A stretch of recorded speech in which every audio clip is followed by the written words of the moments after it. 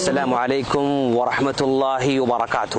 ناظرین، ایک نصیحت میں آپ کا استقبال کیا جا رہا ہے۔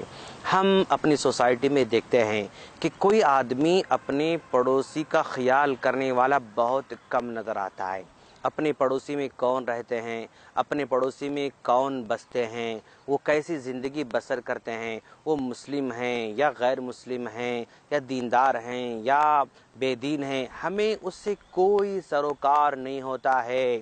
جبکہ شریعت کے مطابق ہمیں اپنے پڑوسی کا پورا کا پورا خیال رکھنے کا آرڈر دیا گیا ہے۔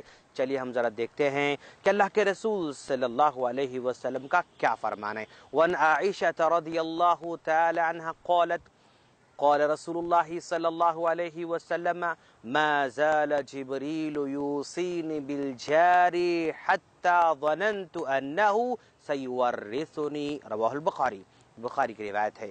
مائیں عائشہ صدیقہ رضی اللہ تعالیٰ عنہ کہتی ہیں کہ اللہ کے رسول صلی اللہ علیہ وسلم نے فرمایا، حضرت جبریل علیہ السلام نے مجھے بارہا بار بار اپنے پڑوسی کا خیال رکھنے کی نصیحت فرمائی۔